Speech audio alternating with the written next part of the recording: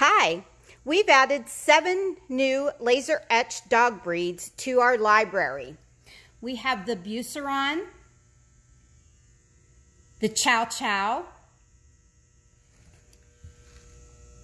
the Clumber Spaniel, the Greyhound, the Rhodesian Ridgeback, the Golden Retriever,